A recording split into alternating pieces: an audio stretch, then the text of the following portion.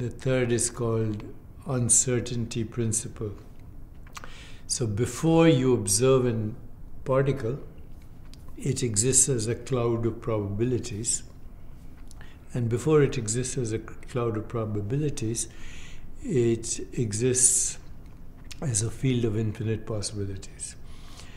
And uncertainty means that uh, quantum virtual particles appear and disappear um, impermanently from the field as determined by the uncertainty principle, which means you cannot actually know with certainty.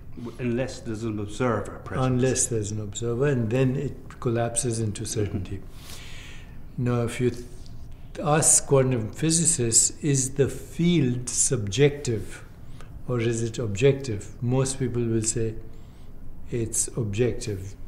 Although you can never observe the field, mm-hmm. by the way, you can only infer mm-hmm. from from various kinds of things like Brown, Brownian movement, etc. Is it subjective? Is it objective?